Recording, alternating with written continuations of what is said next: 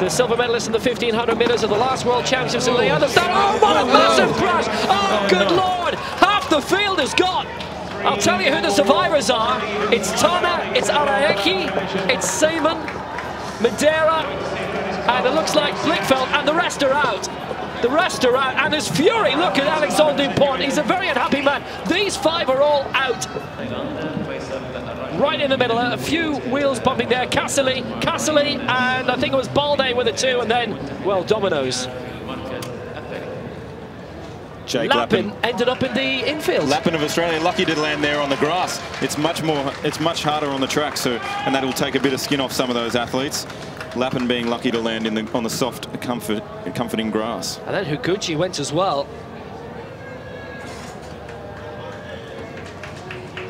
Let's hope that that's the last we see of any crashes in this tournament. That's Casoli on the right.